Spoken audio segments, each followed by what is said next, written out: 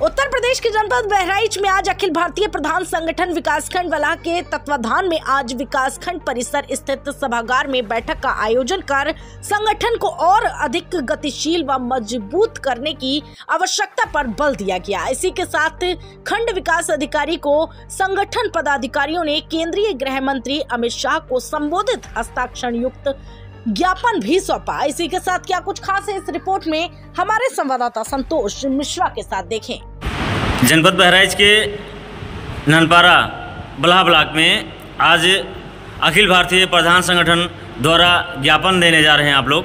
किस चीज़ को लेकर के ज्ञापन देने जा रहे हैं इसके बारे में जानकारी दीजिए संरक्षक जी। संजीव श्रीवास्तव एडवोकेट संरक्षक अखिल भारतीय ग्राम प्रधान संगठन जनपद बहराइच। हमारे प्रमुख नेता लोग, प्रमुख मांगों को लेकर दिल्ली में प्रदर्शन कर रहे हैं। उत्तर प्रदेश के प्रत्येक ज़िले के लोग वहाँ पर जाते हैं और अपने सांसद के माध्यम से अपनी आवाज़ को राज्यसभा में रखने के लिए, लोकसभा में रखने के लिए बात करते हैं, संवाद स्थापित करते हैं।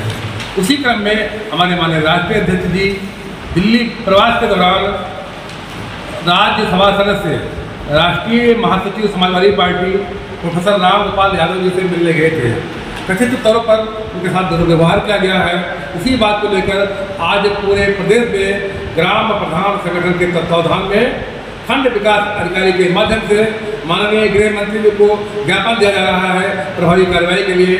आज हमारे खंड विकास बलहा के हमारे माननीय अध्यक्ष जी बैठे अध्यक्ष जी, आज जो ज्ञापन देने जा रहे हैं, किस समर्थन में जरा इसके बारे में जानकारी दीजिए थोड़ा। जो राम गोपाल यादव जी के द्वारा जो प्रधान संगठन अखिल भारतीय संगठन के ऊपर जो गलत शब्दों का उपयोग किया गया है उसके विरोध में हम लोग आज बल्हा ब्लाक वीडियो के वीडियो के पास ये ज्ञापन देने जा रहे हैं। देने जा रहे हैं। ठीक है धन्यवाद। पूरे सभी साथियों के साथ पूरी टीम के साथ इसका विरोध करते हैं कि मतलब इसके ऊपर कार्रवाई की जाए।